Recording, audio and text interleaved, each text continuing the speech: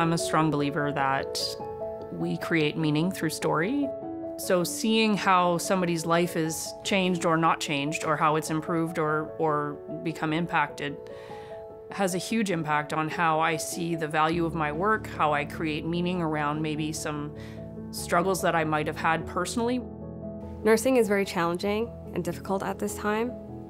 And in addition to the negative outcomes that we may see during our care, it's nice to see a positive and to know that the care that the team has provided led to a positive outcome. It was really easy during the pandemic to kind of let yourself get a bit down and there was no follow through. Um, so being able to see the patient stories, see the patients come back and talk to us and kind of get that impact was just so heartening and so inspiring and reminding us that, you know, what we do actually makes a very positive impact on these people. Telling the story, it's uh, kind of cathartic. It kind of took me out of uh, myself, kind of looking at the whole situation and, and uh, realizing how many people were involved with saving my life and giving me my new life and uh, just how much I appreciate that. At that point, my cognitive skills in reading and writing, I couldn't even compose a, a complete sentence.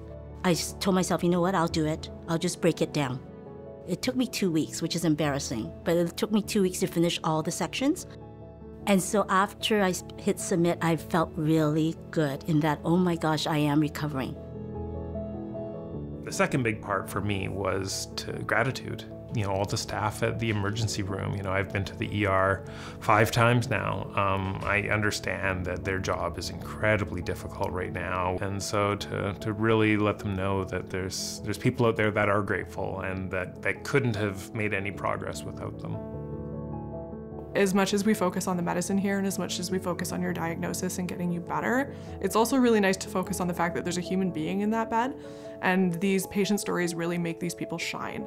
And I think it grounds you in human connection, which is for most of us the main reason we got into healthcare to start with is to is to relieve suffering, to help people recover, and because we like working with people.